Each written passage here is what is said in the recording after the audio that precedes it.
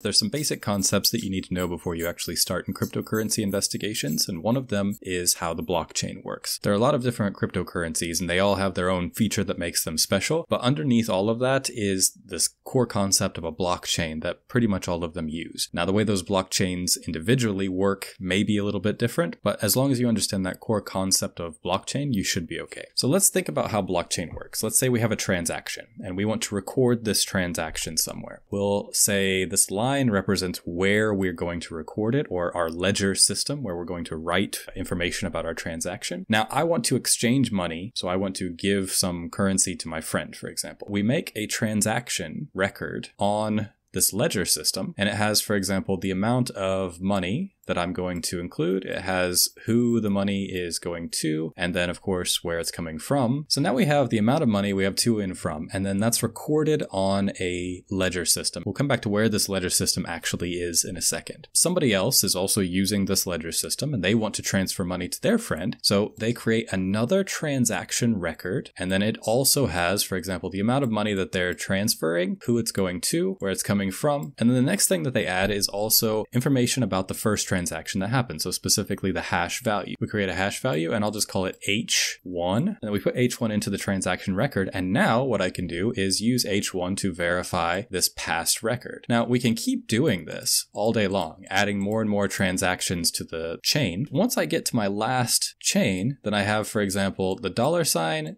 to from and then H in. So whatever the most recent value is, I can use that hash value to validate the previous block in the blockchain chain. And if that hash value is correct, then all of the other hash values are correct down the chain. So this is a very basic system for making sure of the integrity of the overall chain. This is really all blockchain is. It's just a transaction record with information about hashes for prior transactions that are in the current record. That way we can do validation all the way back. This also means the more transactions we have, the harder it is to modify prior transactions. So for example, I would have to modify every everything in the line if I wanted to go back and modify the H1 value. This ledger system that we're writing everything on is distributed. I can have my own node or my own computer keeping track of all of the transactions. Everyone else who's participating in that particular network can also have their own node monitoring and validating transactions. All of these nodes have their own copy, essentially, of all of these records. They're constantly doing validation against all of those records and making sure that everything actually is valid. So if one of these nodes comes in and says the value of H1 was, you know, 23, then all of these other nodes will go, no, that's not what I have in my record. And then they would reject that node's update. Pretty much all blockchains have some type of validation network, and usually it's distributed. So for example, Bitcoin. People really like Bitcoin because the ledger system that they use is globally distributed. A lot of different countries, organizations now are in that network. So that's a lot of different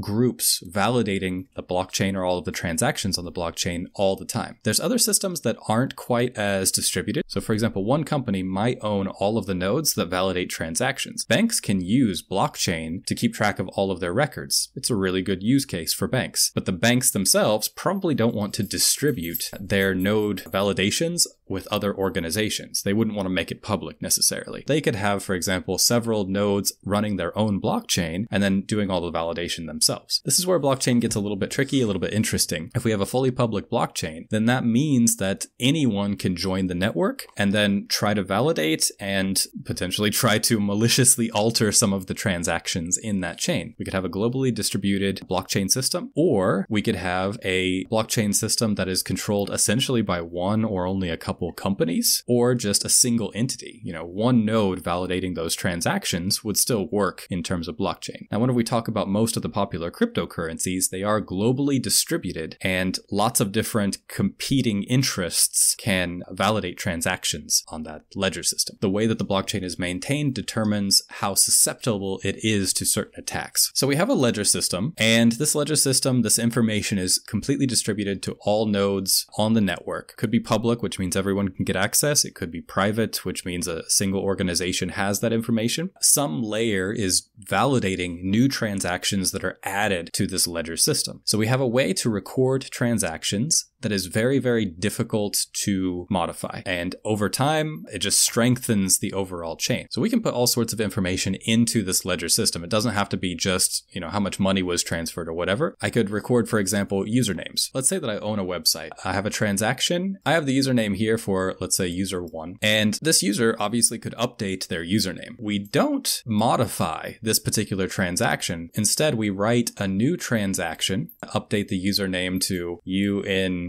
to something like that, right? So I've edited now the username in my system. Whenever I'm going through it, I can just check for the latest version of that username that's in the blockchain. And then that gives me history of all of the username changes that have happened. In most ledger systems, you cannot edit transactions. That's completely against the point. But what you can do is submit a new transaction that updates prior information and then prefer the newest copy or version of that information. In the ledger system, we have this kind of validation layer and we have transactions. We can develop it so that way we can store anything in this ledger system. And the ledger system is extremely powerful. So when we're talking about blockchain, think about keeping records, records that should not be able to be changed. So if this is our ledger system, where does cryptocurrency come into play? Cryptocurrency kind of sits on top of this ledger system and most popular cryptocurrencies tend to have their own kind of ledger system in place or they ride on the back of another, of another cryptocurrency's ledger system that, that it's already well established. So we have this application layer, and that can usually be something like a cryptocurrency exchange or maybe a cryptocurrency wallet that a user has. And these wallets can do a couple different things, which is why it can be a little bit confusing. They can, in some cases, try to validate transactions through the wallet. They can also interact with the ledger system and add new transactions to the ledger system. Basically, they're participating in a